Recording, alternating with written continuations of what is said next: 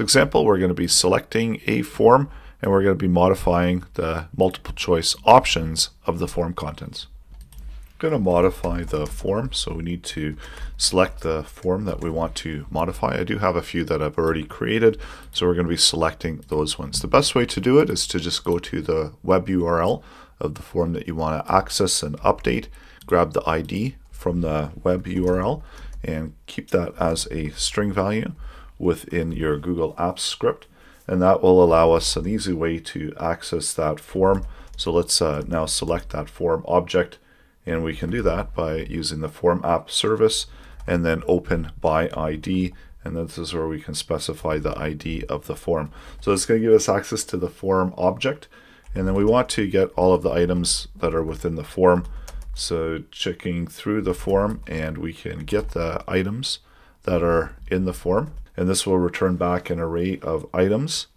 And then for those items, we can loop through each one of those and get the item out as we iterate through.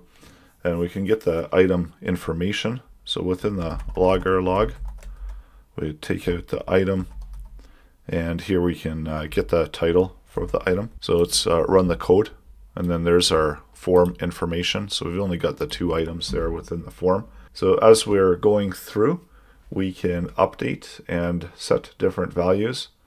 So checking to see, so items, and if we want to update that particular one where we've got the items with the index value of 1, so let's uh, take items and then index value of 1. So this is our multiple choice item. And then we can get as multiple choice so let's set a variable. So getting it as the multiple choice item. So taking the multiple choice, set choice values, and we can update the choice values. So we can have different choice values. And then let's uh, run through and we're modifying the form. So now we've modified it where we've got different values there. So originally it was red, blue, green, yellow. And now when we refresh the form, so there's our new modified values. So that's how you can select and update the form contents using the form ID.